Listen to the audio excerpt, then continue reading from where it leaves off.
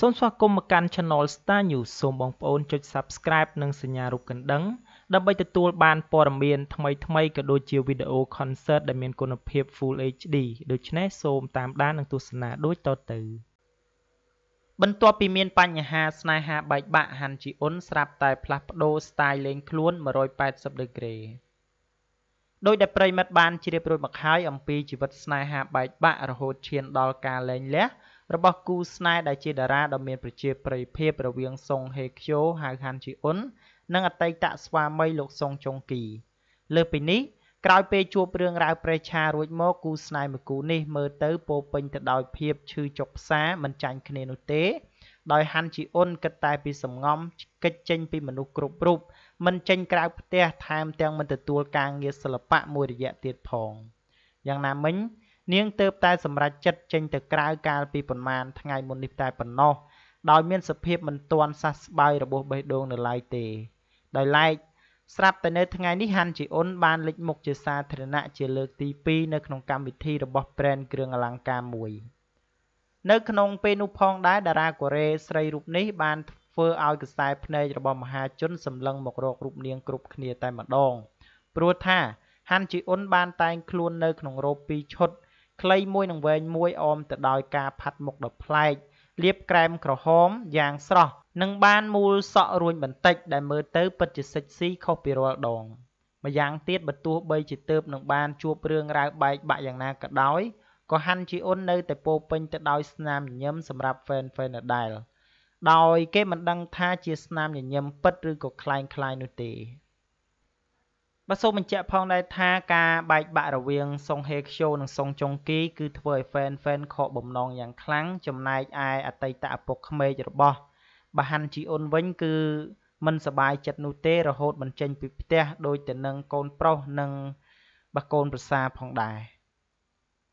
បើតាមព័ត៌មានរបស់ពីកូរ៉េបានឲ្យដឹងថារហូតមកទល់នឹងពេលនេះហាន់ជីអ៊ុនបានស្រកទម្ងន់រហូតទៅដល់5គីឡូ ចំណែកឯសុងចុងគីវិញគឺមានបញ្ហាគិតច្រើនរហូតដល់ជ្រុះសក់ទៀតផង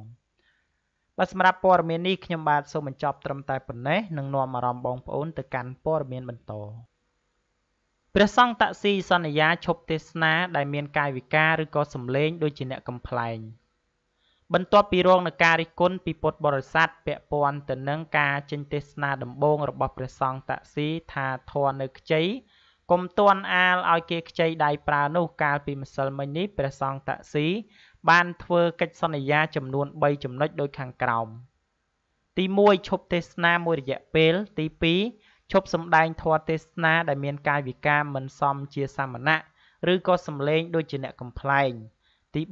3រហូតដល់ភិក្ខុតាក់ស៊ីបួសបានយូរគួរសមនឹងរៀនព្រះធម៌វិន័យរបស់ព្រះពុទ្ធសាសនាបានច្រើនកិច្ចសន្យារបស់ភិក្ខុ តាក់ស៊ីនៅពេលនេះ បានធ្វើឡើងកាលពីថ្ងៃទី11ខែកក្កដាឆ្នាំ2019គួរបញ្ជាក់ផងដែរថាពុទ្ធបរិស័ទម្នាក់បានចេញលិខិតបើកចំហជូនចំពោះព្រះតេជគុណតាក់ស៊ីអតីតតារាកំ pl ែងក្រុមនាយពាក់មីដោយរំលឹកព្រះអង្គថាធន់នៅខ្ចីកុំទាន់ឲ្យគេខ្ចីដៃចេញសម្ដែង បន្ទាប់ពីបានឃើញព្រះអង្គសម្ដែងធម៌ទេសនាគណៈពេលបួសរៀនបានទៅតែ9ថ្ងៃ។ លិខិតបើកចំហរបស់ពុទ្ធបរិស័ទម្នាក់នោះបានបង្ហោះនៅក្នុងគណនី Facebook ផ្ទាល់ខ្លួន នៅថ្ងៃទី9ខែកក្កដាឆ្នាំ2019ដែលមានខ្លឹមសារយ៉ាងដូចនេះថាប្រដេជគុណតាក់ស៊ីជាទីគោរពនិងសទ្ធាចេតនារមរបស់ប្រដេជគុណបួសដើម្បីសិក្សាត្រៃសិក្ខា ដើម្បីកាត់បន្ថយទឹកនោមផ្អែមនិងជំងឺផ្សេងផ្សេងដែលកំពុងតែបៀតបៀន បុគ្គលណាបានសិក្សានិងបដិបត្តិធម៌ធម៌រមែងថែរក្សាបុគ្គលនោះជំងឺទាំងឡាយណាមានកលេសដែលត្រាំនៅក្នុងខណ្ឌសន្តានជាដើមនឹងខ្សោះទៅបន្តិចម្ដងបន្តិចម្ដង ហើយជំងឺផ្លូវកាយក៏នឹងបានប្រសើរឡើងវិញផងដែរធម៌របស់ព្រះពុទ្ធជាម្ចាស់ហៅថាធម្មសុទ្ធព្រះដេចគុណសូមព្រះដេចគុណមេត្តាចំណាយពេលយកចិត្តទុកដាក់សិក្សានិងបដិបត្តិត្រៃសិក្ខាឲ្យបានទៀងទាត់ យ៉ាងមានសទ្ធាជឿជាក់និងទុកចិត្តសូមព្រះមេត្តាកុំទាន់មកប្រោះញាតញោមដោយការសម្ដែងធម៌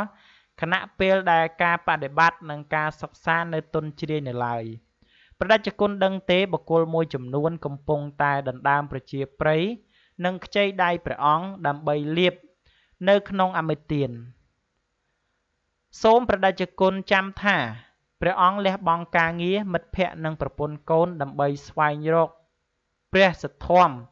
សូមសែបគប់កល្យានមិត្តជាបណ្ឌិត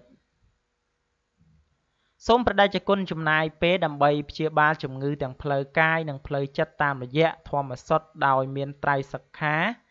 ជាគោលបដិបត្តិប្រដេជគុណនឹងបានជាសះស្បើយជាជាមិនខានបើទោះបីជាយ៉ាងណាពាក់ព័ន្ធទៅនឹងបញ្ហានេះ มันអាចសុំការបញ្ជាក់ឆ្លើយតបពីប្រដេជគុណតាក់ស៊ីបាននោះទេកាលពីម្សិលមិញ ដោយទូរស័ព្ទរបស់ព្រះអង្គនៅមិនទាន់អាចតាក់ទងបានសូមបញ្ជាក់ផងដែរថាការចេញទេសនាគណៈពេលដែលព្រះអង្គទៅនឹងបួសរៀនបាន9ថ្ងៃធ្វើឲ្យពុទ្ធបរិស័ទមិនបះពេញចិត្តនោះទេដូច្នេះហើយទើបបានជាមានការរិះគន់ច្រើនពីសំណាក់ពុទ្ធបរិស័ទយ៉ាងច្រើនដូច្នេះដូច្នេះហើយព្រះអង្គតាក់ស៊ីក៏បានធ្វើកិច្ចសន្យាចំនួន3ចំណុច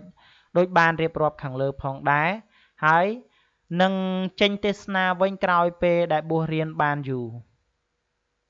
បាទដូច្នេះសម្រាប់ព័ត៌មាននេះខ្ញុំបាទសូមបញ្ចប់ត្រឹមតែប៉ុណ្ណេះនឹងនាំអារម្មណ៍បងប្អូនទៅកាន់ព័ត៌មានបន្តគង់ច័ន្ទស្រីមុំនៅតែបន្តតំណែងជា Brand Ambassador រហូតមកទល់នឹងពេលនេះតារាសម្ដែងស្រីអ្នកនាងគង់ច័ន្ទស្រីមុំនិងកូនស្រី កឹមសីមរកតហៅម៉ូម៉ូក៏នៅតែបន្តកងត្រាជាអ្នកតំណាងផលិតផលសម្រាប់ឆ្នាំ2019ដល់ឆ្នាំ2020សម្រាប់ម្សៅទឹកដោះគោ Nutrilett អ្នកនាងទទួលស្គាល់ថាផលិតផលនេះពិតជាមានស្តង់ដាររបស់ប្រទេសសិង្ហបុរីពិតប្រាកដមែនទើបបានជាអ្នកនាង សម្រេចចិត្តបន្តតំណែងជា Brand Ambassador បន្តទៀត។ តារាសម្ដែងស្រីល្បីឈ្មោះ និងមានឥទ្ធិពលនៅក្នុងបណ្ដាញទំនាក់ទំនងសង្គម Facebook អ្នកនាងគង់ច័ន្ទស្រីមុំ ត្រូវបានគេកត់សម្គាល់ឃើញថានៅតែមានភាពស៊ីវិល័យ និងក្មេងស្រស់ស្អាត នៅពេលនេះគឺធ្វើឲ្យអ្នកនាងមានសន្ទុះនៅក្នុងបណ្ដាញទំនាក់ទំនងសង្គម Facebook ដដែលអញ្ចឹងហើយទើបបានជាអ្នកនាងត្រូវបានគេបន្តកងត្រា ជាមួយនឹងផលិតផលម៉ាកល្បីនេះ។ គង់ច័ន្ទស្រីមុំទទួលស្គាល់ថាម្សៅទឹកដោះគោ Nutrilett ពិតជាបានបន្តកងត្រាជាមួយនឹងអ្នកនាងនិងកូនស្រីពិតប្រាកដមែនអ្នកនាងបាននិយាយថានេះគឺជាកិត្តិយសដែលនាងត្រូវបានក្រុមហ៊ុនជ្រើសរើសនាងនិងកូនស្រីជាអ្នកតំណាងផលិតផលក៏ប៉ុន្តែអ្វីដែលសំខាន់ទៅទៀតនោះក៏ព្រោះតែផលិតផលនេះពិតជាមានគុណភាពល្អពិតពិតអញ្ចឹងហើយទើបបានជាអ្នកនាងបន្តកងត្រាដោយមិនចាំបាច់ពិចារណាយូរ លោកទឹមសវណ្ណរានាយកគ្រប់គ្រងទូតរបស់ក្រុមហ៊ុន Nutrilett Master LM Co Ltd បាននិយាយថានៅក្នុងឆ្នាំថ្មីនេះក្រុមហ៊ុនមានកិច្ចសន្យាដ៏ធំមួយ នៅក្នុងការធ្វើការផ្សព្វផ្សាយផលិតផល Nutrilett លោកបានបញ្ជាក់ថាអ្នកនាងគង់ច័ន្ទស្រីមុំពិតជាពេញចិត្តជ្រើសរើសបន្តកិច្ចសន្យាជាមួយយើង ដោយជឿជាក់ទៅលើផលិតផលគុណភាព ដែលនាងបានទទួលស្គាល់ដោយកូនស្រីជាអ្នកប្រើប្រាស់នាពេលកន្លងមក បានផលជាក់លាក់ដោយមិនជួបនៅបញ្ហាធ្ងន់ធ្ងរដែលបណ្ដាលមកពីម្សៅទឹកដោះគោជាដើមដូច្នេះហើយទើបបានជានាងគង់ច័ន្ទស្រីមុំមានទំនុកចិត្តទៅលើម្សៅទឹកដោះគោ Nutrilett ហើយក៏បានបន្តកងត្រានៅក្នុងរយៈពេល1ឆ្នាំបន្ថែមទៀត។ បាទដូច្នេះសម្រាប់ព័ត៌មាននេះផងដែរខ្ញុំបាទសូមបញ្ចប់ត្រឹមតែប៉ុណ្ណេះនឹងនាំអារម្មណ៍បងប្អូនទៅកាន់ព័ត៌មានបន្តចូលចូលបង្ហោះសារលែងចង់រស់អានហើយរន្ធត់ចិត្តនៅពេលបង្ហាញខ្លួនប្រកួតឈុតបុរាណប្រចាំឆ្នាំរបស់គ្រួសារតារាកម្ពុជាកាលពីថ្ងៃទី8កក្កដានៅប្រាសាទសម្បូរព្រៃគុកតារាសម្ដែងភេទទី3ត្រូវបានគេឃើញមានទឹកមុខស្លេកស្លាំងនិងមានសភាពហត់ដង្ហក់គួរឲ្យបារម្ភដោយសារតែជំងឺរបស់នាង ដែលកើតឡើងជាយូរឆ្នាំមកហើយនិងគ្មានលទ្ធភាពព្យាបាលរហូតមកទល់នឹងពេលនេះកាន់តែឈានដល់ដំណាក់កាលពិបាកអ្វីដែលកាន់តែរន្ធត់ចិត្តគឺនាងបានបង្ហោះសារនៅមុននេះបង្ហាញថា នាងអស់សង្ឃឹមលែងចង់រស់ខណៈពេលដែលសភាពជំងឺរបស់នាងក៏កាន់តែធ្ងន់ធ្ងរកញ្ញាចូលចូលបានសរសេរបង្ហោះថាតើវាជាការពិតដែរឬទេ ដែលយើងកើតជំងឺបេះដូងហើយវាអាចរាលដាលដល់ក្បាល ហើយវាអាចធ្វើឲ្យយើងឈឺពីក្បាលដល់ជើង បងប្អូនណាដឹងជួយប្រាប់ខ្ញុំផង ថាជំងឺបេះដូង វាអាចធ្វើទុកអញ្ចឹងមែននាងសរសេរមួយឃ្លាអានឲ្យរន្ធត់ចិត្តទៀតថា ទេវតាអើយបើពិបាកម្លឹងម្លឹងយកជីវិតខ្ញុំទៅតែម្ដងទៅខ្ញុំហត់ហើយគ្រូពេទ្យធ្លាប់មើលជំងឺខ្ញុំគាត់លែងទទួលមើលជំងឺខ្ញុំហើយគាត់ឲ្យខ្ញុំទៅមើលនៅពេទ្យរ៉ូស៊ីគាត់ថាជំងឺខ្ញុំវាកាន់តែវិវត្តទៅមុខ ខ្លាំងហើយជំងឺបេះដូងគាត់ឲ្យទៅដេកនៅមន្ទីរពេទ្យរ៉ូស៊ីទៅ ព្រោះបេះដូងខ្ញុំធ្វើទុកខ្លាំងហើយពាក្យពេទ្យធ្វើឲ្យខ្ញុំបាក់ទឹកចិត្តហើយពូតើខ្ញុំរកលុយឯណាទៅពេទ្យទៅបើយោងទៅតាមស្ថានភាពតារាភេទទី3មានជំងឺបេះដូងដែលតម្រូវធ្វើការវះកាត់ជាយូរមកហើយក៏ប៉ុន្តែដោយសារតែនាងមិនមានលទ្ធភាពទើបបណ្ដាលឲ្យជំងឺរីករាលដាលឈានដល់សភាពធ្វើទុកផ្សេងផ្សេង ជោជោធ្លាប់បានបង្ហាញថាជំងឺរបស់នាង នៅពេលម្ដងនោះគឺពេទ្យថាដុសដុំសាច់នៅក្នុងខួរក្បាលនិងខ្លះថាបណ្ដាលមកពីបេះដូងរបស់នាង មានបញ្ហាធ្វើទុកយូរខ្លាំងពេកទើបបណ្ដាលឲ្យមានអាការៈឈឺក្បាលដូចជាប្រកាំងនិងមានសភាពដង្ហក់ខ្លាំងនៅក្នុងពិធីប្រកួតឈុតបុរាណជោជោត្រូវបានគេឃើញប្រើថ្នាំជំនួយផ្លូវដង្ហើមញឹកញាប់ នៅក្នុងពេលដែលនាងក៏មានសភាពស្គមស្គាំងនិងស្លេកស្លាំងគួរឲ្យបារម្ភជោជោបានប្រាប់ថាចង់បានឱកាសទៅពេទ្យព្យាបាលនៅថៃក៏ប៉ុន្តែมันមានលទ្ធភាពទេ ដោយសារតែសូម្បីតែសភាពត្រូវបញ្ជូនទៅព្យាបាល នៅមន្ទីរពេទ្យរុស្ស៊ីក៏មិនមានលទ្ធភាពផងដែរកុំថាទៅដល់ចេញក្រៅប្រទេស បើមានជំនួយសប្បុរសធម៌ នាងចេញទៅព្យាបាលភ្លាមដោយមិនទុកជំងឺឲ្យកាន់តែធ្ងន់ធ្ងរអញ្ចឹងនោះទេបាទនេះគឺជាការបញ្ជាក់បន្ថែមរបស់ចូជូដែលជាតារាភេទទី3ដោយបានបញ្ជាក់ប្រាប់ថានៅពេលនេះអស់សង្ឃឹមហើយដោយគ្រូពេទ្យបាទលែងទទួលមើលជំងឺទៀតហើយដោយថាស្ថានភាពជំងឺបេះដូងរបស់ចូជូនៅពេលនេះគឺធ្ងន់ធ្ងរពេកបាទដូច្នេះសម្រាប់ព័ត៌មាននេះខ្ញុំបាទសូមបញ្ចប់ត្រឹមតែប៉ុណ្ណេះសូមអរគុណរាល់ការតាមដាន និងការចុច Subscribe របស់បងប្អូនទាំងអស់គ្នាមកកាន់ Channel Star News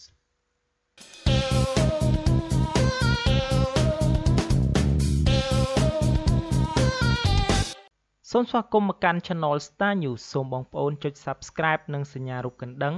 ដើម្បីទទួលបានព័ត៌មានថ្មីៗក៏ដូចជាវីដេអូ concert ដែលមានគុណភាព Full HD ដូច្នេះសូមតាមដាននិងទស្សនាដូចតទៅ ពេជ្រសភាត្រូវបានគេសង្ស័យមានស្នេហាជាមួយនឹងប្រុសក្មេងម្នាក់ទៀតពេជ្រសភាដែលធ្លាប់តែបណ្ដើរគ្នាត្រសងដូចជាលលោកញីឈ្មោលជាមួយនឹងប្រុសក្មេងឈឹមសក្តានោះនៅពេលនេះបែរជាចាប់ផ្ដើមសោះកក្រោះដាក់គ្នាហើយព្រោះសូម្បីតែថ្ងៃខួបកំណើតរបស់សុភាក៏គេមិនឃើញលោកឈឹមសក្តាទៅអើតមើលឡើយទើបធ្វើឲ្យសុភាមានការអន់ស្រពន់ចិត្តយ៉ាងខ្លាំងព្រោះចាត់ទុកថាបើមនុស្សស្រឡាញ់គ្នាមែន គេមិនភ្លេចថ្ងៃខួបកំណើតពិសេសរបស់នាងឡើយបើទោះបីជាយ៉ាងណាគេក៏សម្គាល់ឃើញថាកំឡុងពេលដែលសភាចាប់ផ្ដើមប្រងើយកន្តើយដាក់សក្តានោះគេឃើញអ្នកមេម៉ាយរូបនេះបែរជាងាកទៅស្និទ្ធស្នាលជាមួយនឹងប្រុសក្មេងម្នាក់ដែលមានសម្បុរស្រអែមខ្ពស់ស្រឡះទៅវិញតាមរយៈសកម្មភាពរបស់សភានិងប្រុសប្លែកមុខនោះគេឃើញពួកគេល្អោកល្អឿនគ្នាដូចជាគូស្នេហ៍ថ្មីថ្មោងដែលទើបនឹងរៀបការហើយ ដោយនៅពេលខ្លះសភានិងបរោះរូបនោះជិះរថយន្ត Porsche ពណ៌សនិង Range Rover ពណ៌ខ្មៅតែពីរនាក់ជាមួយគ្នា ទាំងកណ្ដាលយប់អាធ្រាត្រក៏មានដែរទើបធ្វើឲ្យមានការសង្ស័យថាអ្នកមេម៉ាយរូបនេះបានថ្មីចោលចាស់ហើយពេជ្រសភាបានផ្ទុះសំណើចនៅពេលដែលត្រូវគេសួររឿងនេះហើយរូបនាងព្យាយាមអះអាងថាចំណងស្នេហានាងនឹងឈឹមសក្តាគ្មានការប្រែប្រួលនោះទេ សុភាបានប្រាប់ថាខ្ញុំនឹងសក្តានៅតែដដាលតើថ្ងៃខួបខ្ញុំក៏សក្តាមកចូលរួមដែរគ្រាន់តែខ្ញុំ មិនបង្ហាញឲ្យគេឃើញនឹងរឿងអីខ្ញុំនឹងគាត់មានការប្រែប្រួលទៅ បើយើងស្រឡាញ់គ្នាចាស់ទុំទាំងសងខាងបានដឹងឮអស់ទៅហើយនឹងចំពោះប្រុសម្នាក់ដែលបើកឡានជូនខ្ញុំទៅមកនងលោកព្រះអើយគាត់មិនមែនជាគូស្នេហ៍ថ្មីខ្ញុំនោះទេ ពូនឹងគឺជាក្មួយខ្ញុំតែតើ បើមិនជឿទេអ្នកកាសែតអាចមកសួរអ្នកចិត្តខាងផ្ទះខ្ញុំក៏បានដែរពូនឹងសង្សារខ្ញុំឬក៏ក្មួយខ្ញុំពេជ្រសភាថែមទាំងបាននិយាយថាចំពោះអ្នកដែលថានាងស្រឡាញ់តែប្រុសក្មេងៗនោះ នាងចង់សុំកែតម្រូវហើយព្រោះប្រុសដែលរូបនាងស្រឡាញ់មិនមែនក្មេងនោះទេគឺសុទ្ធតែចាស់ទុំគំនិតអស់ទៅហើយសូម្បីតែអតីតប្តីរបស់នាងដែលបានរៀបការជាមួយគ្នានោះក៏មិនមែនជាក្មេងដែរ សភាបានបន្តថាតើយកក្មេងមកធ្វើអី យកគេចាស់ទុំគំនិតទើបល្អហើយនៅពេលនេះទំនាក់ទំនងរវាងនាងនិងសក្តា នៅតែល្អដូចពីមុនក៏ប៉ុន្តែមិនទាន់អាចកំណត់ពេលវេលាចូលរោងការនោះទេ ដោយសារតែនាងមិនចង់ដើរជាន់ដានចាស់ហេតុនេះហើយស៊ូមើលចិត្តគ្នាបានយូរបន្តិចប្រសើរជាងការតក់ក្រហល់ប៉ុន្តែលែងលះគ្នាយ៉ាងទាន់ហន់ គួរបញ្ជាក់ថា ពេជ្រសុភាបានរៀបការជាមួយនឹងទាហានអាកាសអាមេរិកលោក ឡាវ ឆូលី កាលពីថ្ងៃទី5ខែកុម្ភៈឆ្នាំ2015តែបានលែងលះគ្នាវិញកាលពីឆ្នាំ2016អ្នកមេម៉ាយសុភាត្រូវបានមហាជនសរសើរថាបើទោះបីជាស្នេហាបរាជ័យមែនតែនាងនៅតែឈរក្នុងចំណោមតារាស្រីជួរមុខគេនាពេលបច្ចុប្បន្នបានដដែល នៅក្នុងលំដាប់ Grade A ដែលមានតម្លៃខ្លួន ប្រដំប្រសងគ្នាជាមួយនឹងអោកសគុណកញ្ញានិងមាសសុកសភាបាទនេះគឺជាការឆ្លើយបញ្ជាក់របស់ពេជ្រសភា ដោយរូបនាងបានលើកឡើងថាបរោះថ្មីដែលរូបនាងសិទ្ធស្នានោះគឺមិនមែនជាគូស្នេហ៍នោះទេ គឺជាក្មួយរបស់នាងគណៈពេលដែលស្នេហាជាមួយនឹងឈឹមសក្តានៅតែដដែលបាទដូច្នេះសម្រាប់ព័ត៌មាននេះខ្ញុំបាទសូមបញ្ចប់ត្រឹមតែប៉ុណ្ណេះនឹងនាំអារម្មណ៍បងប្អូនទៅកាន់ព័ត៌មានបន្ត មានសុនីតា មានទ្រព្យសម្បត្តិលឿនរហ័សត្រឹមតែមួយប្រព្រឹត្តភ្នែក សង្ស័យមានលោកកយអាយុ50ឆ្នាំជាអ្នកឧបត្ថម្ភមានសុនីតាបានធ្វើឲ្យរឿងរ៉ាវស្នេហារបស់នាងល្បីខ្លាំងជាងអាជីពសិល្បៈថែមទៀតព្រោះតែស្រីស្អាតរូបនេះមានទ្រព្យសម្បត្តិយ៉ាងលឿនរហ័សត្រឹមតែមួយប្រពេចភ្នែករូបនាងមានផ្ទះវិឡាថ្លៃជាង30ម៉ឺនហាងលក់ក្រមាតម្លៃរាប់ម៉ឺនដុល្លារព្រមទាំងការលេងម៉ូតរថយន្តទំនើបទំនើប ផ្លាស់ប្ដូរជាញឹកញាប់ថែមទៀតផងទើបធ្វើឲ្យបែកធ្លាយរឿងស្រីស្អាតរូបនេះមានគូស្នេហ៍ជាមន្ត្រីគយនៅពីក្រោយខ្នងការលេចលឺនៅរឿងរ៉ាវស្នេហាដ៏រសើបរបស់មានសូនីតានៅពេលនេះចំពេលដែលស្រីស្អាតរូបនេះច្រើនតែយកការលំហែកាយានៅក្រៅស្រុក ជាងការងារសិល្បៈខណៈពេលដែលលោកកយសម្បុរសវ័យ50ឆ្នាំប្លាយរូបនោះត្រូវបានអ្នកសិល្បៈជាច្រើនដឹងថាលោកស្រឡាញ់សូនីតាខ្លាំងណាស់ រហូតដល់និយាយប្រាប់គេថាតារាស្រុកខ្មែរលោកមើលឃើញ តែតារាស្រីមានសូនីតាមួយទេ ហើយក៏គ្មានកន្លែងណាដែលត្រូវរិះគន់ឡើយបើទោះបីជាយ៉ាងណានៅពេលដែលតារាដែលស្និទ្ធស្នាលជាមួយនឹងលោកកយម្នាក់នោះសួរថាតើនៅពេលណាទើបលោកហ៊ានបណ្ដើរសូនីតាជាចំហបរោះដែលមានលុយចាយមិនចេះអស់នោះឆ្លើយយ៉ាងខ្លីថា ស្រេចតែលើគេចុះ ការថ្លែងបែបនេះមានន័យថាលោកកយរូបនោះ ចង់បណ្ដើរគៀកកើយជាមួយនឹងមានសុនីតាជាចំហខ្លាំងណាស់ដើម្បីឲ្យគ្រប់គ្នាបានដឹងថារូបលោកមានសង្សារជាស្រីស្អាតតារាល្បីឈ្មោះមានសុនីតារហស្សនាមរាជិនីក្រមាថ្មីត្បិតតែរឿងរ៉ាវស្នេហារបស់មានសុនីតានិងលោកកយផ្ទុះខ្លាំងទាំងក្នុងនឹងចង្កោមអ្នកសិល្បៈយ៉ាងណាក៏ដោយក៏ប៉ុន្តែរហូតមកទល់នឹងពេលនេះ សូនីតាមិនមែនចេញមុខបំភ្លឺស្នេហាជាចំហឲ្យគេដឹងនោះទេ គឺរូបនាង មានតែព្យាយាមកិច្ចចេញពីការសម្ភាសរបស់អ្នកកសែតការបាត់បង់ស្នេហារបស់មានសូនីតានៅពេលនេះដោយសារតែមានការបង្ហើបថាលោកគយទ្រព្យសម្បត្តិស្ដុកនោះគឺមិនមែននៅទំនេរឡើយ គឺរូបលោកមានភរិយានិងកូនកូនច្រងច្រាំងទៅហើយហេតុនេះហើយកំថាឡើយមានសូនីតា ហ៊ានបណ្ដាបរោះលុយក្រាស់នោះបើទោះបីជារូបនាងចង់រៀបការក៏លោកកយរូបនោះមិនអាចបំពេញបំណងបានដែរព្រោះខ្លាចផ្ទុះនៅរឿងធំមានសុនីតាធ្លាប់ប៉ះរឿងរ៉ាវស្នេហាផ្អើលផ្ទៃប្រទេសម្ដងរួចទៅហើយដោយលេចលឺថាថកែស្រីលក់ពេជ្រនៅម្ដុំផ្សារថ្មី និងថកែលក់កាហ្វេម៉ាក់ល្បីមួយនៅផ្សារថ្មី តាមស្នេហាតារាសម្លេងស្រាលរូបនេះព្រមព្រមគ្នា ទើបធ្វើឲ្យសូនីតាពិបាកសម្រេចចិត្តយ៉ាងខ្លាំង ស្របពេលដែលថកែស្រីលក់ពេជ្រនៅមិនសុខឡើយ ពេលដែលឃើញស្រីស្អាតរូបនេះស្និទ្ធស្នាលជាមួយតារាសម្ដែងប្រុសណាម្នាក់ខណៈពេលដែលថកែលក់កាហ្វេវិញគិតតែពីដេកមើលរូបថតនិងការសម្ដែង MV របស់នាងទើបធ្វើឲ្យផ្ទុះនៅចំនួនជាមួយប្រពន្ធផ្អើលភ្ញៀវរត់ជន់ជើងគ្នាក៏មាន។ ប៉ុន្តែចាប់តាំងពីមន្ត្រីកយរូបនោះចូលខ្លួនមកស្នេហ៍សូនីតាដែរធ្វើឲ្យទាំងថកែពេជ្រនិងថកែកាហ្វេខ្ទាតចេញព្រមព្រមគ្នាតែម្ដងក៏ព្រោះថាมันអាចតតាំងជាមួយនឹងលោកកយរូបនោះបានឡើយមានសុនីតាស្ថិតនៅក្នុងចំណោមតារាវ័យក្មេងដែលរស់នៅផ្ទះវិឡាយ៉ាងស្កឹមស្កៃមានដូចជារ៉ាប៊ី Baby ដួងមនិចនៅសុនីតាទេពបុព្រឹកជាដើម ដែលពួកគេមានទ្រព្យសម្បត្តិរាប់សែនដុល្លារនៅក្នុងកណ្ដាប់ដៃ ហើយត្រូវបានគេសង្ស័យថាមានគូស្នេហ៍កំបាំងមុខនៅពីក្រោយខ្នងប៉ុន្តែសុនីតាខុសពីតារាមួយចំនួនទៀតដែលត្រូវគូស្នេហ៍ចងជើងលែងឲ្យលេងសិល្បៈក៏ព្រោះនៅពេលនេះស្រីស្រស់រូបនេះនៅតែឆ្លៀតឆ្មក់ថតកុនដោយគ្មានការហួងហែងពីគូស្នេហ៍ឡើយ ដូចជាមុននេះរូបនាងល្បីរឿងផ្កាថ្ម ដែលធ្វើឲ្យសូនីតាមានយាយអ៊ុនទាំងសិល្បៈនិងស្នេហាព្រមព្រមគ្នាតែម្ដងបាទដូច្នេះសម្រាប់ព័ត៌មាននេះផងដែរខ្ញុំបាទសូមបញ្ចប់ត្រឹមតែប៉ុណ្ណេះសូមនាំអារម្មណ៍បងប្អូនទៅកាន់ព័ត៌មានបន្តកាន់តែធំពេញរូបរាងល្អហួសមានរូបសម្រស់កាន់តែលេចធ្លោនិងមានក្តីស្រមៃដ៏ធំបែបនេះទៀត ប្រិមិត្តជាច្រើនប្រកាសជាបានជ្រាបយ៉ាងច្បាស់រួចទៅហើយអំពីកុមារីវ័យក្មេងដែលមានឈ្មោះថាល្អហួសដែលជាក្មួយស្រីបង្កើតរបស់តារាសិចស៊ីដេនីខ្វាន់លើសពីនេះល្អហួសបានតាក់ទាញចំណាប់អារម្មណ៍ពីមហាជន តាមរយៈទេពកោសលសិល្បៈដ៏សម្បូរបែបរបស់នាង និងជាពិសេសនោះគឺរូបសម្រស់ដ៏មានប្រជាប្រិយភាពនិងគួរចាប់អារម្មណ៍តែម្ដងហេតុតែមានឈាមជ័រជាអ្នកសិល្បៈល្អហួសមានជំនាញយ៉ាងច្រើនដូចជា អាចរាំបានយ៉ាងរស់រវើក ទាំងចង្វាក់បែបទាន់សម័យព្រមទាំងចេះរាំរបាំបុរាណខ្មែរយ៉ាងសមសួនទៀតផង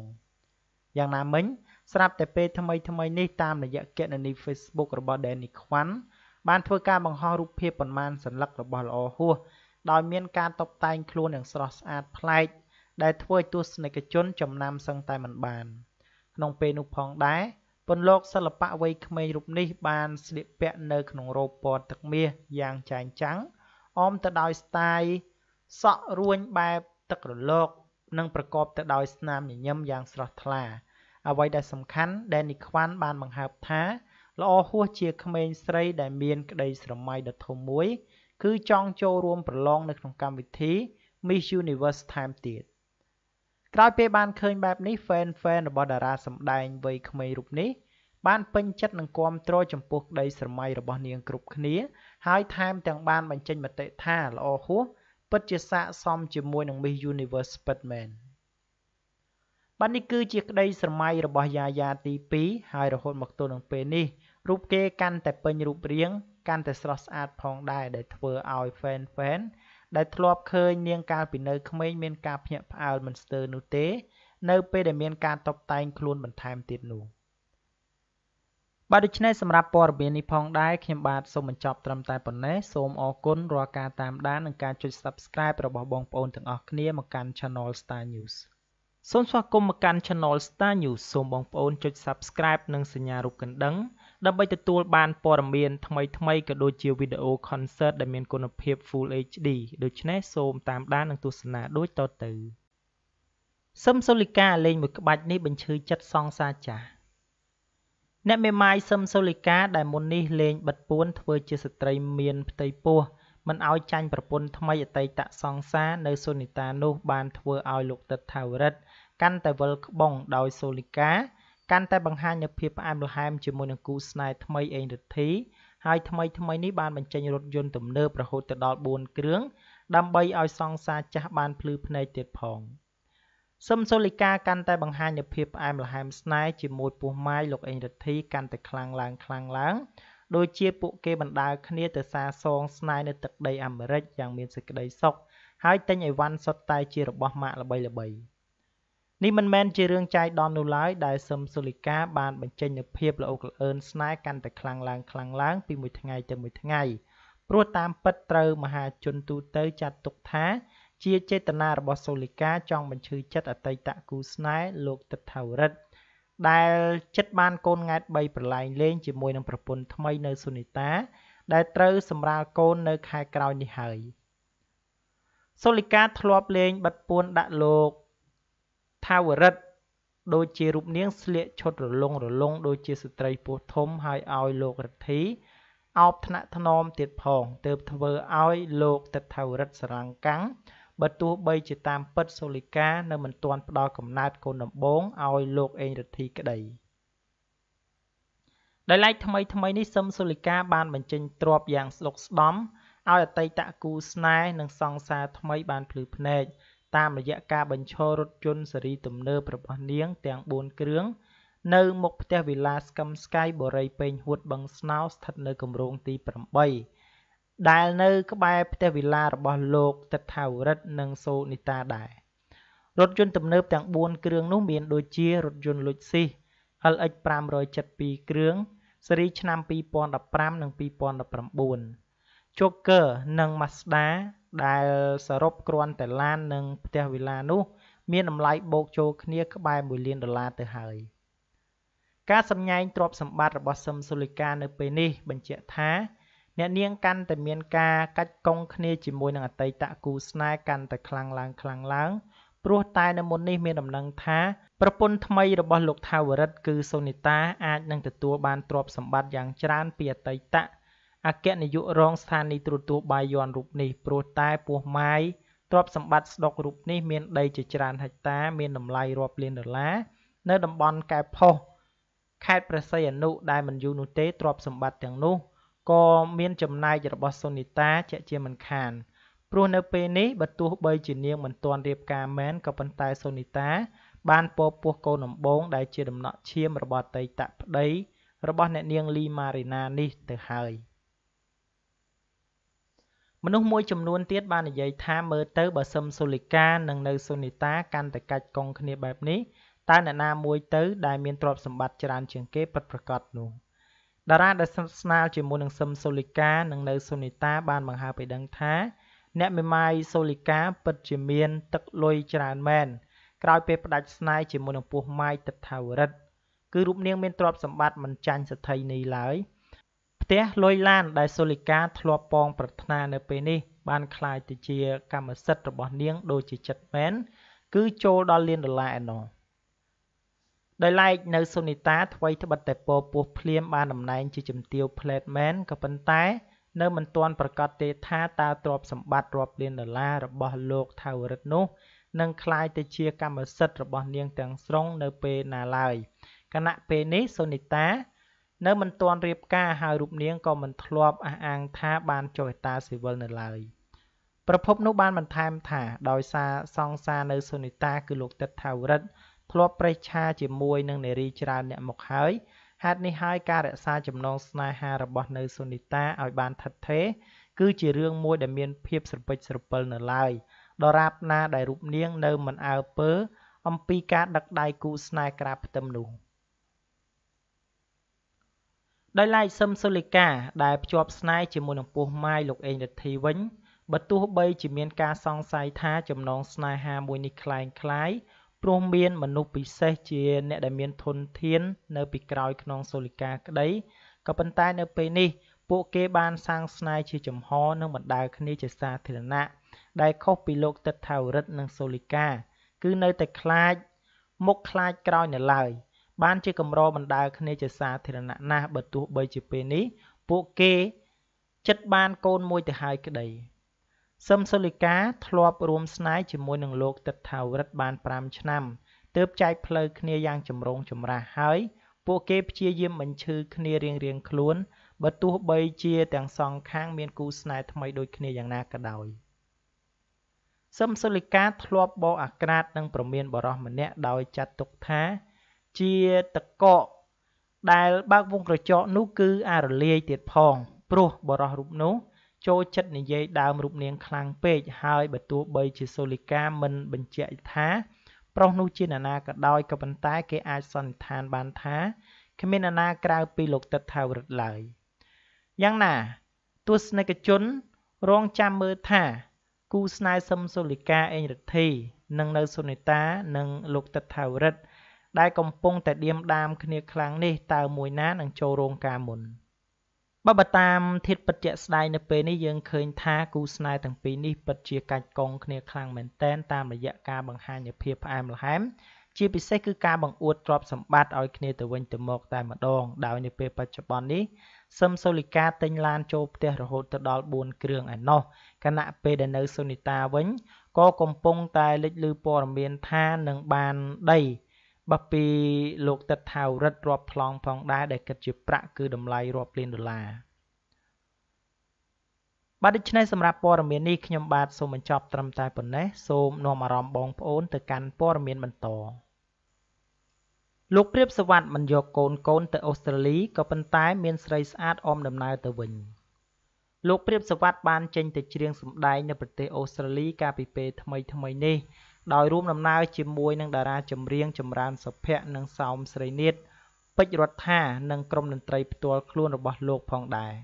ដំណើរទៅក្រៅស្រុកលើកនេះរបស់លោកព្រាបសវັດមិនមានការរួមដំណើរជាមួយនឹងកូនប្រុសទាំង3របស់លោកនោះទេ បន្ទាប់ពីលោកនិងកូនប្រុសបានវិលត្រឡប់មកពីសម្ដែងសហរដ្ឋអាមេរិករយៈពេល2ខែកន្លះកាលពីថ្ងៃទី28ខែមិថុនា យ៉ាងណាភរិយារបស់កម្ពុជាតារាចម្រៀងលោកព្រាបសវັດគឺអ្នកស្រីឡុងស្រីមុំបានរួមដំណើរជាមួយនឹងស្វាមីនៅលើទឹកដីប្រទេសអូស្ត្រាលីនេះផងដែរអ្នកស្រីឡុងច័ន្ទធូម្ដាយក្មេករបស់លោកព្រាបសវັດមិនបានឆ្លើយតបតាមរយៈឆាត Facebook ចំពោះសំណួររបស់អ្នកយកព័ត៌មានតាក់ទងទៅនឹងការសម្ដែងរបស់លោកព្រាបសវັດនៅប្រទេសអូស្ត្រាលីនោះទេកាលពីពេលថ្មីថ្មីនេះ ប៉ុន្តែតាមព័ត៌មានថាលោកព្រាបសវັດនិងក្រុមភ្លេង រួមទាំងតារារួមដំណើរ នឹងច្រៀងសម្ដែងនៅលើទឹកដីប្រទេសអូស្ត្រាលីរយៈពេល72ខែទើបវិលត្រឡប់មកកាន់ស្រុកវិញ ប្រភពនោះបានឲ្យដឹងថា ការច្រៀងសម្ដែងរបស់លោកព្រាបសវັດនៅអូស្ត្រាលីលើកនេះ តាមរយៈការប្រគំតន្ត្រីសប្បុរសធម៌ដើម្បីរកមូលនិធិសង្គ្រោះកុមារកម្ពុជាអូស្ត្រាលី នៅក្នុងនោះក៏មានការសម្ដែងរួមគ្នា ជាមួយនឹងតារា3នាក់ រួមដំណើរដូចជានៅថ្ងៃទី6ខែកក្កដាឆ្នាំ2019នៅរដ្ឋ Melbourne ថ្ងៃទី12ខែកក្កដានៅរដ្ឋ Brisbane និងថ្ងៃទី20ខែកក្កដានៅរដ្ឋ Adelaide និងថ្ងៃទី27ខែកក្កដានៅរដ្ឋ Sydney គេកត់សម្គាល់ឃើញថានៅឆ្នាំ2019នេះលោកព្រាបសវັດពិតជាមិនបន្ធូរដៃមែននៅក្នុងការចេញទៅច្រៀងសម្ដែងនៅក្រៅស្រុក គឺទៅតែត្រឡប់មកពីអាមេរិកមិនទាន់បាននឹងប៉ុន្មានផងឥឡូវហោះទៅប្រទេសអូស្ត្រាលីថែមទៀតហេតុនេះហើយតារាជើងចាស់របស់ផលិតកម្មរស្មីហងមាសរូបនេះពិតជាត្រូវប៉ាន់ទីផ្សារចម្រៀងទាំងនៅក្នុងនិងក្រៅស្រុកមែនគឺខ្ញីចាស់កាន់តែហិល សូមជម្រាបផងដែរថាលោកព្រាបសវັດកាលពីចេញទៅច្រៀងនៅសហរដ្ឋអាមេរិកលោកបានបង្ហាញនូវភាពផ្អែមល្ហែមជាមួយនឹងកូនប្រុសរួមជាមួយនឹងប្រពន្ធនិងម្ដាយរបស់លោកទៀតផងហើយឥឡូវនេះគឺវត្តមានរបស់មកប្រពន្ធតែប៉ុណ្ណោះដែលបានសូមបញ្ជាក់ផងដែរថាកាលពីចេញទៅច្រៀងនៅសហរដ្ឋអាមេរិករយៈពេល2ខែកន្លះលោកព្រាបសវັດបានរួមដំណើរជាមួយនឹងកូនប្រុសទាំង3 ភរិយារួមជាមួយនឹងក្រុមតន្ត្រីក៏ប៉ុន្តែសម្រាប់ពេលនេះលោកព្រាបសវັດគ្រាន់តែបានរួមដំណើរជាមួយនឹងអ្នករួមអាជីពតែប៉ុណ្ណោះគឺมันបានទៅទាំងក្រុមគ្រួសារដោយពីមុននោះទេហើយសម្រាប់រយៈពេលនៃការសម្ដែងនៅប្រទេសអូស្ត្រាលីនោះគឺមានរយៈពេល72ខែទើបវិលត្រឡប់មកប្រទេសខ្មែរវិញបាទដូច្នេះសម្រាប់ព័ត៌មាននេះខ្ញុំបាទសូមបញ្ចប់ត្រឹមតែប៉ុណ្ណេះសូមអរគុណ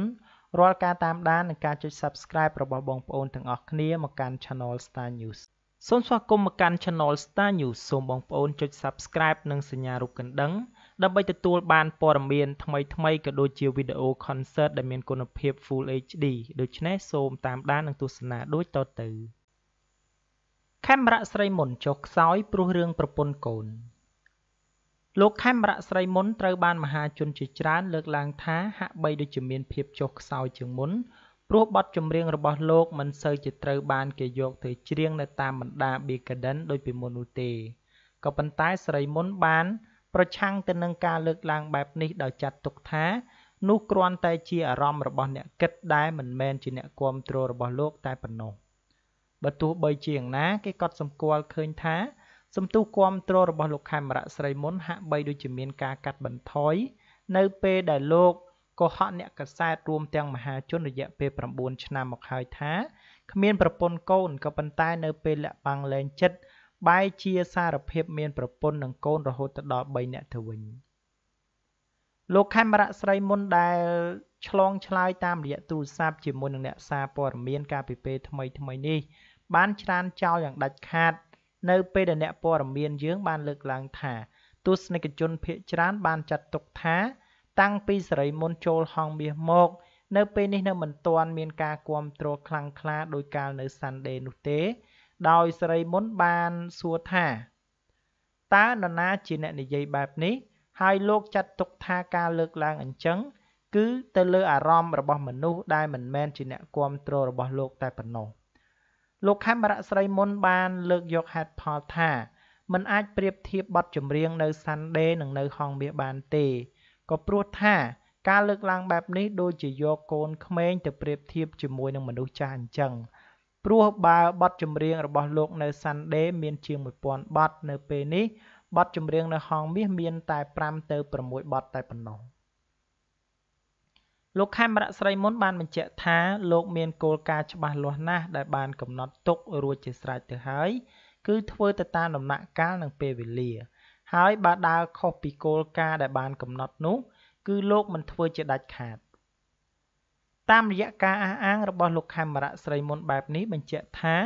លោកមានទីប្រឹក្សាពិសេសនៅពីក្រោយខ្នងជាអ្នករៀបចំផ្លូវឲ្យតារាហង្សមាសរូបនេះត្រូវធ្វើយ៉ាងណាកំឡុងពេលដែលចូលហង្សមាសនេះ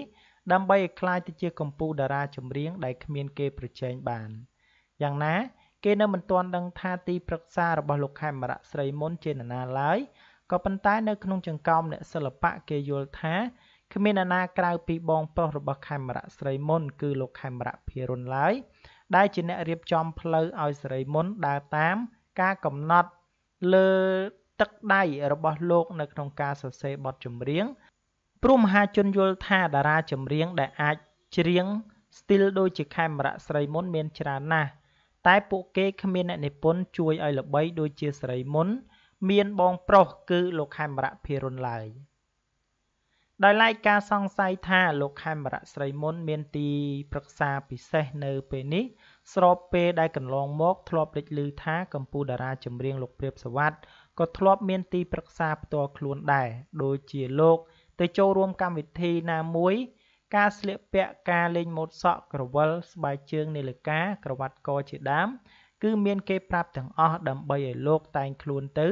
ស៊ីទៅនឹងបណ្ដាកម្មវិធីទាំងនោះ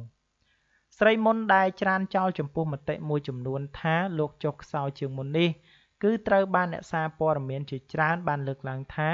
ដោយសារតែសេរីមុនធ្លាប់កុហកអ្នកកាសែតនិងទស្សនិកជនជិត10ឆ្នាំមកហើយ គឺទើបតែទទួលស្គាល់នៅឆ្នាំ2018ដោយសារភាពថារូបគេមានប្រពន្ធនិងមានកូនរហូតដល់3នាក់អញ្ចឹងរឿងនេះគឺធ្វើឲ្យមហាជនមួយចំនួន ពិបាកនឹងទទួលយកដែរប៉ុន្តែយ៉ាងណាសេរីមុនបានបញ្ជាក់រួចទៅហើយថារូបគេដើរលើវិថីសិល្បៈគឺមានជំហាននិងដំណាក់កាលត្រូវធ្វើហេតុនេះហើយការសារភាពរឿងមានប្រពន្ធកូន កាលពីឆ្នាំមុននោះ គេជឿថានោះគឺជាដំណាក់កាលដែលសេរីមុនលាក់លែងបានទៅទៅទៀតអ្នកធ្វើភ្លេងល្បីឈ្មោះមួយនៅហងមាសសុំមិនបញ្ចេញឈ្មោះដែលអ្នកយកព័ត៌មានបានទូរស័ព្ទទៅកាលពីថ្ងៃទី26ខែមិថុនាឆ្នាំ2019បានឲ្យដឹងថាមូលហេតុដែលសេរីមុននៅមិនទាន់ធ្វើឲ្យទីផ្សារចម្រៀងក៏ក្រើកនៅពេលនេះ ដោយសារតែរូបគេអាខានចេញច្រៀងសម្ដែងនៅថ្ងៃបុណ្យចូលឆ្នាំខ្មែរនាពេលកន្លងមក មិនមែនដោយសាររឿងប្រពន្ធកូននោះទេគ្រូភ្លេងរូបនោះបានបញ្ជាក់ថាបទចម្រៀងនិងការសម្ដែងចូលឆ្នាំខ្មែរកាលពីខែមេសានោះសំខាន់ខ្លាំងណាស់ព្រោះបើគេមានបទចម្រៀងល្បីៗគេអាចជះចំហាយរហូតមកទល់នឹងពេលនេះបានក៏ប៉ុន្តែគាត់ជាប់កាន់ទុករឿងប្អូនស្រីគាត់ទទួលមរណភាពมันអាចច្រៀងបានអញ្ចឹងរឿងហ្នឹងក៏ប៉ះពាល់ដល់ការស្ងប់ស្ងាត់របស់គាត់នៅពេលនេះដែរ ចំពោះរឿងមានប្រពន្ធកូនវិញខ្ញុំគិតថាมันអីនោះទេសម័យនេះទៅហើយមើលតែបងព្រាបសវັດទៅដឹងហើយគាត់ច្រៀងរាំជាមួយនឹងកូនកូននៅតែល្បីតើកុំឲ្យតែយើងទៅយកប្រពន្ធគេសង្សារគេអីអានោះបានវាប៉ះពាល់ថ្មីត្បិតតែខេមរៈស្រីមុនថាលោករកមើលមិនឃើញថាអ្នកណាជាអ្នកនិយាយថាលោកចុះខ្សោយជាងមុនមែន ក៏ប៉ុន្តែអតីតតារាចម្រៀងនៅក្នុងផលិតកម្មហងមាសលោកនូសឹបបាននិយាយថាស្រីមុននៅមិនទាន់ល្បីដោយកាលនៅ Sunday នោះទេ ហើយលោកចាត់ទុកថាស្រីមុនចូលហងមាសគឺជារឿងនយោបាយទៅវិញ។ចំណែកឯលោកមិញសទ្ធីវ៉ាន់តន្ត្រីករជើងចាស់បានបញ្ជាក់ថា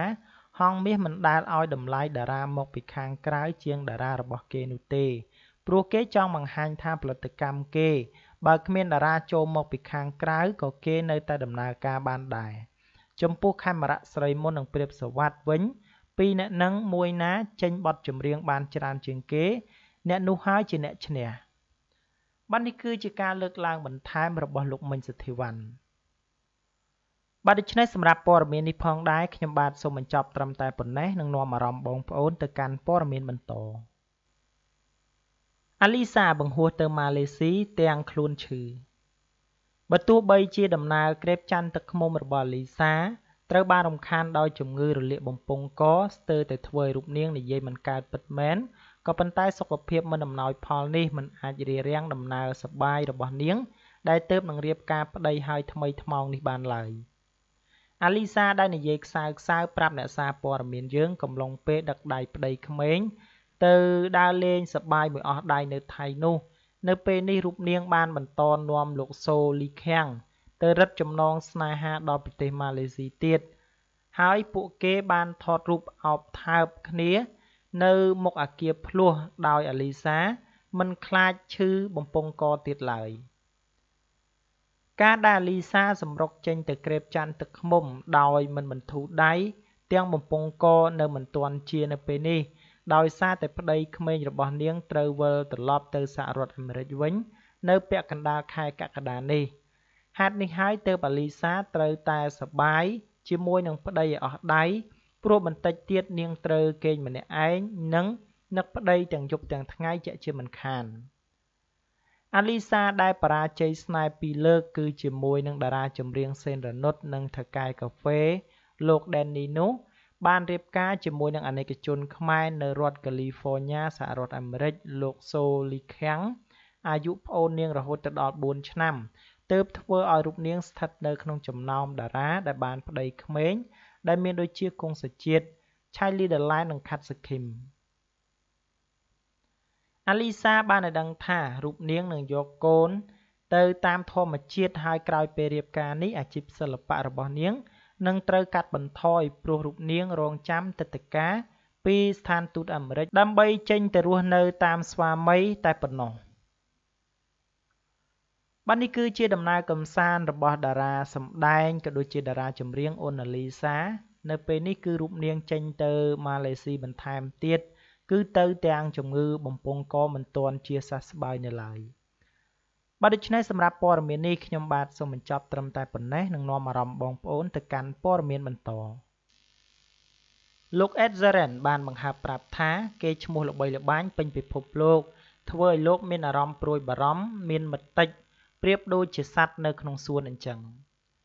កម្ពុជាតារាចម្រៀងពិភពលោកលោក Ed Sheeran បានបង្ហើបប្រាប់អំពីក្រុមអ្នកសារព័ត៌មានថា លោកបានកាត់ផ្តាច់មិត្តភ័ក្តិរបស់លោកចោលទាំងអស់ ទុកតែ4នាក់ដែលអាចទុកចិត្តបានតែប៉ុណ្ណោះថ្មីថ្មីនេះលោកបានសារភាពថាគេឈ្មោះល្បីល្បាញពេញពិភពលោក ធ្វើឲ្យលោកមានការព្រួយបារម្ភខ្លាំងមិនអាចទុកចិត្តអ្នកដទៃបាន ហើយមានអារម្មណ៍ថាខ្លួនប្រៀបដូចជាសត្វនៅក្នុងសួនអញ្ចឹងម្ចាស់បទ Shape of You នៅពេលបច្ចុប្បន្នលោកមានវ័យ28ឆ្នាំ បានរៀបរាប់ថាគេឈ្មោះល្បីល្បាញពេញពិភពលោក ធ្វើឲ្យលោកមានជំងឺព្រួយបារម្ភ មិនអាចជឿទុកចិត្តអ្នកដទៃដែលធ្វើឲ្យរូបលោកមានមិត្តភ័ក្តិកាន់តែតិច ហើយក៏មិនអាចប្រើប្រាស់ប្រព័ន្ធទូរស័ព្ទផង។នៅក្នុងកិច្ចសម្ភាសជាមួយនឹងក្រុមអ្នកសារព័ត៌មានបរទេសមួយបានឲ្យដឹងថាលោក Ed Sheeran បានសារភាពថាវាពិតជាលំបាកសម្រាប់រូបលោកនៅពេលដែលមនុស្សម្នាតែងតែមកថតរូបនៅទីសាធារណៈហើយលោកមានអារម្មណ៍ថាលោកមិនមែនជាមនុស្សនោះទេ ពលគឺប្រៀបបានដូចទៅនឹងសត្វនៅក្នុងសួនអញ្ចឹងលោកបានបន្ថែមទៀតថាវាធ្វើឲ្យខ្ញុំមានអារម្មណ៍ថាខ្ញុំមិនមែនជាមនុស្សនោះទេ អ្វីដែលធ្វើឲ្យខ្ញុំខកចិត្តបំផុតនោះគឺ នៅពេលដែលខ្ញុំកំពុងតែមានពេលវេលាដ៏ល្អមួយជាមួយពួកគេ ស្រាប់តែចុងក្រោយគេសុំថតរូបដូចជាពេលនេះប្រសិនបើខ្ញុំចង់ហូបអីនៅក្នុងភោជនីយដ្ឋានខ្ញុំ ចង់បានបន្ទប់ជាលក្ខណៈឯកជនព្រោះបើខ្ញុំហូបអីនៅទីសាធារណៈនោះ មនុស្សម្នានឹងថតវីដេអូខ្ញុំកំពុងតែហូបអីខ្ញុំមានអារម្មណ៍ថាខ្លួនប្រៀបដូចទៅនឹងសត្វក្នុងសួនអញ្ចឹងខ្ញុំមិនបានត្អូញត្អែនោះទេខ្ញុំមានការងារល្អនិងជីវិតដ៏ល្អក៏ប៉ុន្តែខ្ញុំគ្រាន់តែចង់គេចចេញពីវាតែប៉ុណ្ណោះ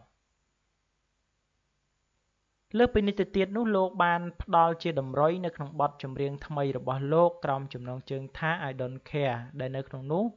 មានមួយឃ្លាលោកបានសរសេរថា